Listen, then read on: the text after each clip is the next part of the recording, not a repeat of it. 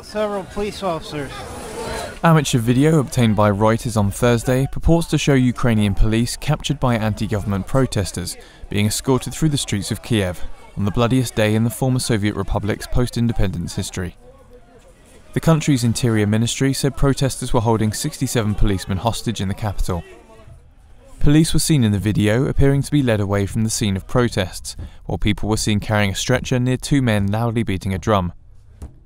Earlier, the ministry said Berkut riot police had been armed with combat weapons, an attempt to regain control of violent protests in which at least 75 people have died since Tuesday.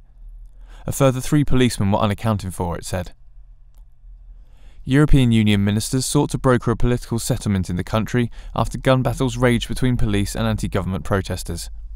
My recommendation to the European, uh, to, to, the foreign ministers uh, meeting today will be that we go for targeted measures, that we are trying to identify individuals who have got responsibility for what has happened in the last days, and that we uh, will refuse uh, access to the European Union and also go for economic sanctions for these individuals.